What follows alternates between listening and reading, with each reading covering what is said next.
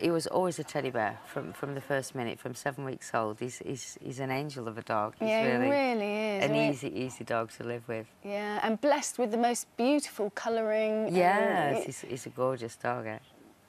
Oh, he's taking it all in his Oh, stride. there he is. That's how we all feel at this time in the morning. Yeah. Hey, Matisse. Have you, have you got anything up your sleeve that you could perhaps show us mm, before the final? Nothing for the final. We're really going to keep that a secret. I'm afraid. That's that's. You know, we owe that to our fans and the people that have voted for us um, to surprise them again. I feel. Yeah. Um, and keep people on the edge of the seats and see what we can come up Yeah. with next.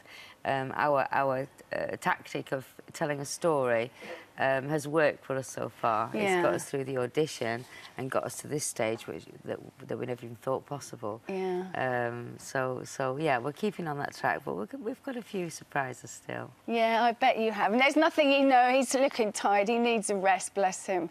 What it must have meant a hell of a lot to you, actually, that you won the public vote as well. Yes, completely, completely amazed, completely amazed. I'm thinking, how many phones has my dad and mum got, you know? Yeah. but no, so the, the public support, the, the, the nation is full of dog lovers. Yeah, which, absolutely. eh, which is fantastic. And the fact that people have taken the time out to vote for him is, Mm. is fantastic, is fantastic. And for you too. Yes, of course, of course. I'm hoping he doesn't dump me and get.